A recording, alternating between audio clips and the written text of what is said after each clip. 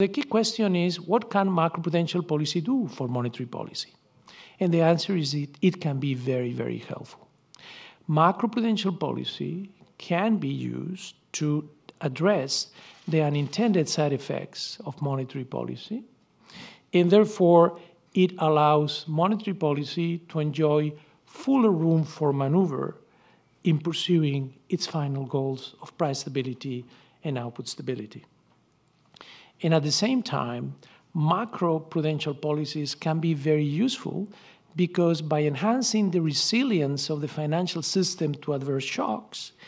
it minimizes the probability that monetary policy would have to bring interest rate down so much as to go beyond the zero lower bound, and therefore it uh, um, it avoids that the monetary policy authority runs into constraints such as a zero lower bound on interest rates, which prevents you